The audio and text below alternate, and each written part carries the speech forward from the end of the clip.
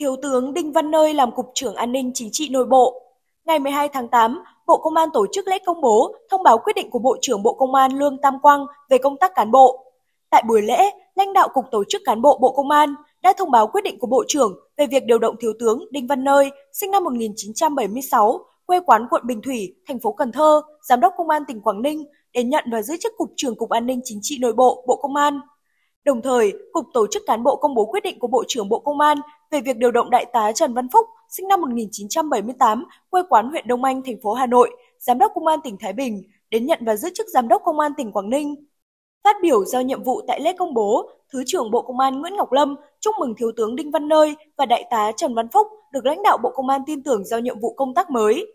Thứ trưởng Lâm ghi nhận thành tích các đồng chí đã đạt được trong thời gian qua, góp phần tích cực vào kết quả công tác đảm bảo an ninh chính trị, trật tự an toàn xã hội tại các địa phương. Đại tá Đinh Văn Nơi từng kinh qua các chức vụ trưởng công an huyện Phong Điền, phó giám đốc công an thành phố Cần Thơ.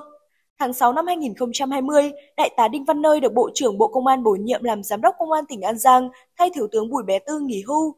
Cuối tháng 8 năm 2022, Bộ trưởng Bộ Công an điều động Đại tá Đinh Văn Nơi, Giám đốc Công an tỉnh An Giang đến nhận công tác và giữ chức Giám đốc Công an tỉnh Quảng Ninh.